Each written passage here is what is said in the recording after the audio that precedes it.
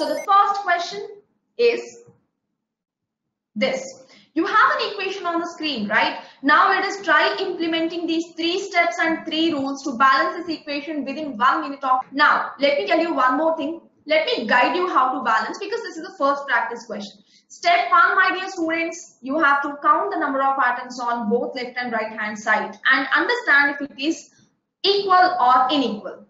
If you have a coefficient, ensure that you use that to count the number of atoms. And if you are done with this, step two, start equalizing. Only use multiplication, don't use addition at all. And I know you're smart enough to understand that you can't use subtra subtraction and division. Well, once you start equalize at the end, use the numbers you have used as multiplication to make a coefficient in the chemical equation.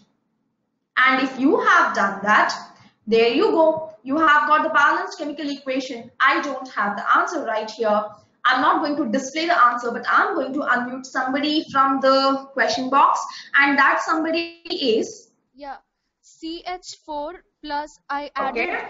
2, 2 in front of O2, which Okay. gives CO2 plus 2H2O. I added 2 mm-hmm. in front of H2O.